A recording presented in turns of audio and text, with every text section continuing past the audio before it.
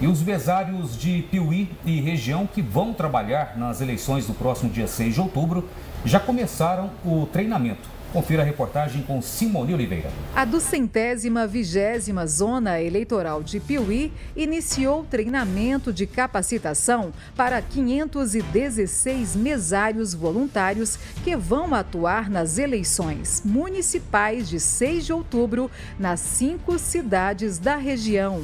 Capitólio, Doresópolis, Piuí, São Roque de Minas e Vargem Bonita foram convocados 288 mesários de Piuí, 88 de Capitólio, 28 de Doresópolis, 80 de São Roque de Minas e 32 de Vargem Bonita.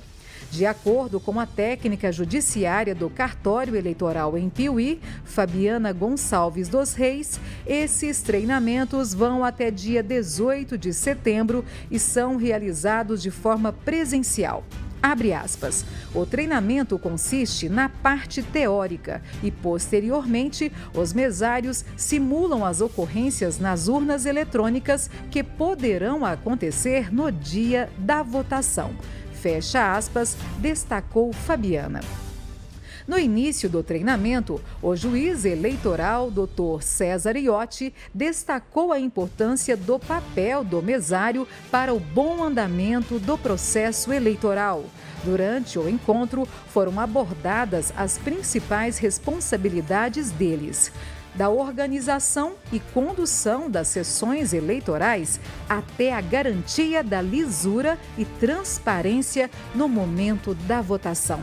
A técnica judiciária lembra que os documentos aceitos para que o eleitor possa votar são identidade, identidade social, carteira profissional e título com foto, carteira de trabalho física, já que a digital não será aceita, carteira de motorista, passaporte e certificado de reservista com foto.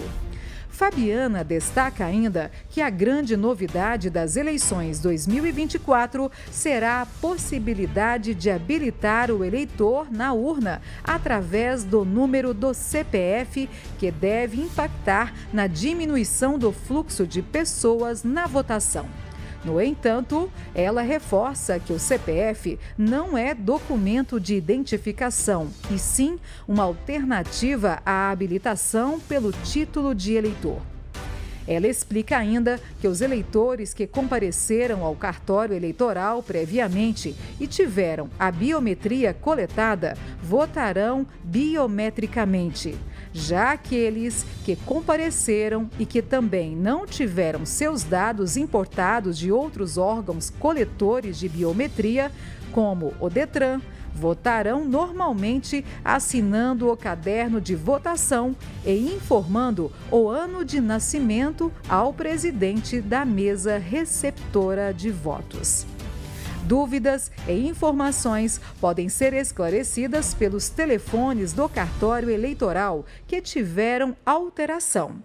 Agora, o cidadão deve ligar para o número DDD 31 33 10 96 54 ou pelo celular com WhatsApp DDD 37 99100 0287.